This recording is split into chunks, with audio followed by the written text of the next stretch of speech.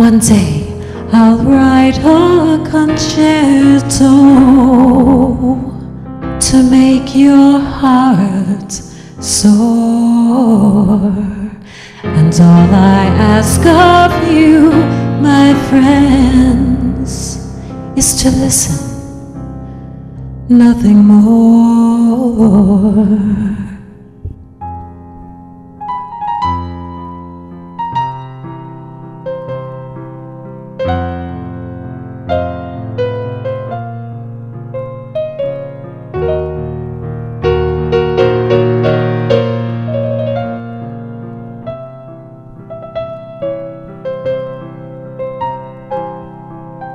When will the day come? When all my thoughts will turn into music